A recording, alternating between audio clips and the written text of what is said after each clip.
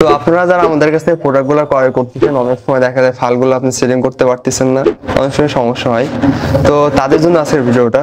তো এ দেখেন, আমাদের হাতে যে এটা এটা হচ্ছে শেপ ফালের এটা সেটিং করতে গেলে আপনার তিনটা জিনিস লাগবে। আপনার একটা নাট, একটা বোল্ট একটা ওয়াশার এই তিনটা জিনিস দিয়ে আপনি খুব সহজে ফুল ফালটা আপনি সেট করে ফেলাইতে পারবেন। তো আমাদের এখানে আপনার ডান পাশের একটা ফাল আছে। আর বাম হাতের একটা ফাল আছে। একটা ডান পাশে নিতে হবে, একটা বাম পাশে নিতে হবে। উপরে দুইটা হবে, শেপের উপরে দুইটা, নিচে দুইটা। এইভাবে আমরা ফুল ফালটা সেট আপ করে ফেলাবো। তো আপনারা ভিডিওটা প্রথম থেকে শেষ পর্যন্ত দেখবেন, দেখলে বুঝতে পারবেন। বেশি কঠিন কিছু না। মনোযোগ দিয়ে দেখলে আপনারা বুঝতে পারবেন কীভাবে ফালটা আপনারা সেটিং করতে পারবেন খুব সহজে।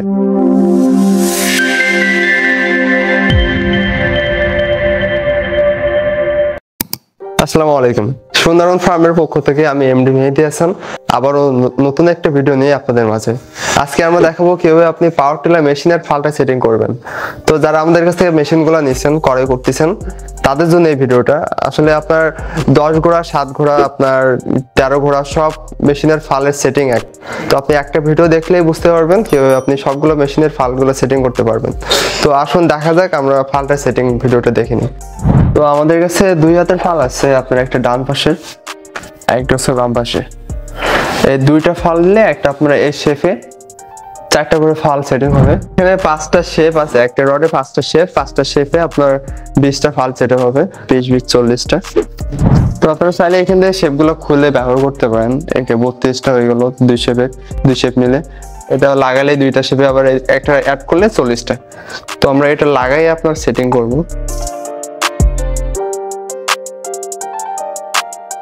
এখানে শুধুমাত্র লকটা লাগাই দিলে এটা সেট আপ হয়ে যাবে, বাড়তি দিয়ে আপনার শেপটা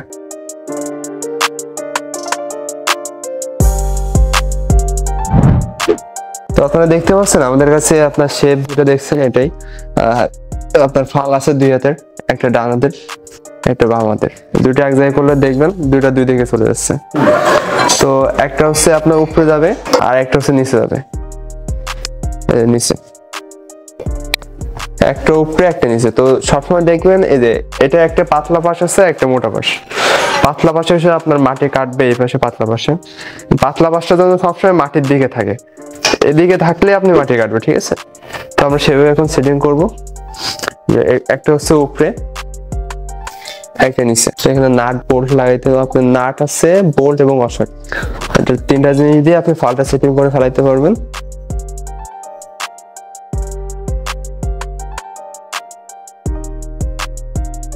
তো এখানে আমরা দুইটা ফাল লাগাইলাম। পরে আবার একটা ডান হাতের, আর একটা বাম হাতের। আবার একই হবে, একটা উপরে যাবে। দুটা ফালে আপনার একটা নাচ সেটিং হয়েছে।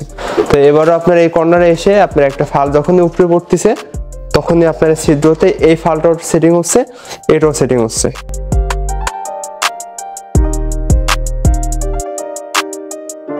তো আপনার ডান হাতের ফালটা দিলাম উপরে, আর আপনার বাম হাতের ফালটা আবার নিচে। প্রতিটা নাটে দুইটা করে ফাল। প্রতিটা নাটে দুইটা করে ফাল সেটিং করতে পারলে আপনি বুঝবেন আপনার ফালটা সঠিক আছে। এবং পাতলা পাঁচটা সবসময় সামনের দিকে রাখবেন।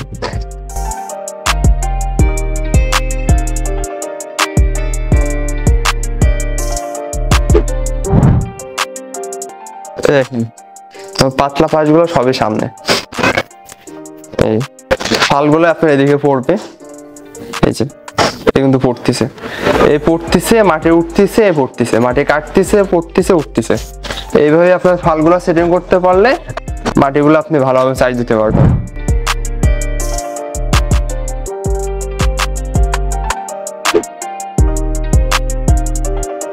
এখানে আমরা দুইটা ফাল সেট দিলাম। আবার দুই হাতের ফাল দুইটা নিব। একটা এইদিকে একটা আপনার এই হাতের ফাল, বাম হাতের ফাল, একটা এইদিকে।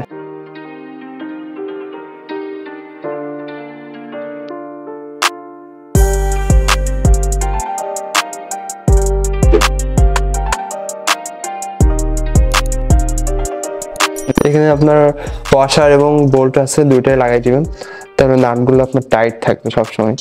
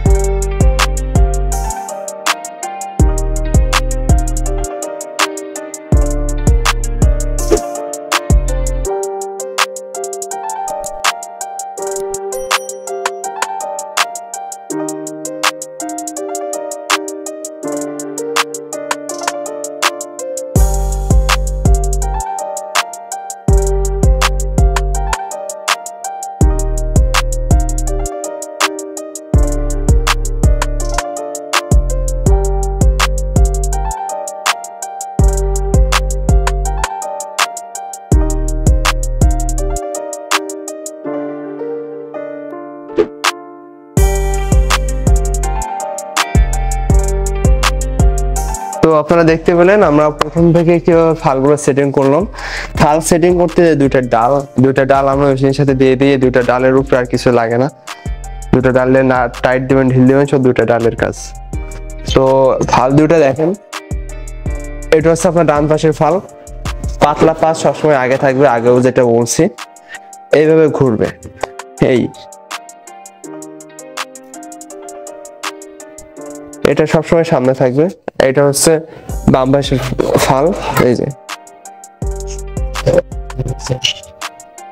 তো ভিডিওটা যারা প্রথম থেকে শেষ পর্যন্ত দেখছেন, তারা আশা করি বুঝতে পারছেন মেশিনের ফালগুলো আপনি কীভাবে সেটিং করবেন। তো আজকের ভিডিওটা এই পর্যন্তই। দেখা হবে নেক্সট কোনো ভিডিওতে। সবাই ভালো থাকবেন। এই পড়তেশন নিয়ে আজকের মতো এখানেই বিদায় নিচ্ছে। আল্লাহ হাফিজ।